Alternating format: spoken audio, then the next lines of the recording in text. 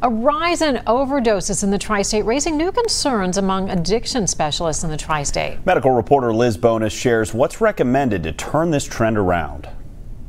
It is something we've been hearing about now for a while. Isolation does not lend itself to addiction support. Already, we are seeing a spike in overdose deaths as a pandemic and an epidemic collide. We've seen high overdoses and also high deaths, which is obviously terrible. We don't want to see either one of those things.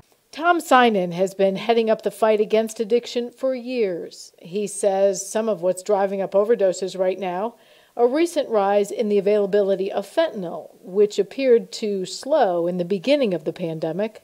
Problem is, is that with fentanyl supply, now there's some little bit of disputing. Some believe that dealers were holding on to fentanyl and it really the supply was not really disrupted. They were just kind of using COVID as a kind of front to, uh, to ask for more money. Um, but some people, and, and, I'm one of them, believe that there was a disruption. You got to think about these drugs are synthetic. They're made outside the United States. China's been a major manufacturer of synthetic precursors for fentanyl and methamphetamine shipping them not just directly to the United States, but also Mexico and the cartels. When the world shut down, the United States shut down, I believe the fentanyl supply shut down.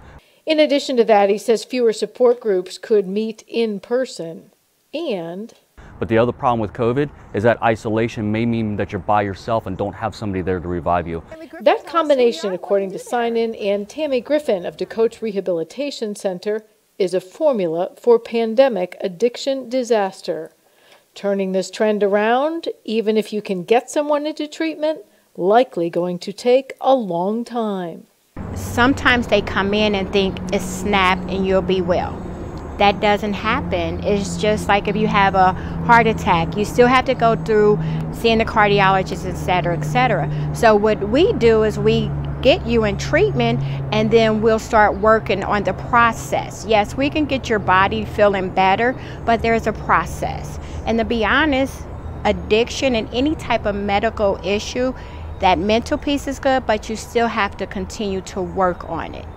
Now, since no one formula works for everyone, it's also recommended the rest of us be on the lookout for signs of trouble in someone we love if they struggle with addiction.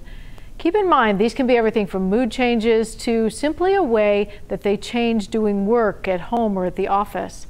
I'm medical reporter Liz Bonis. We'll throw it back to you. Thank you, Liz. Uh, make sure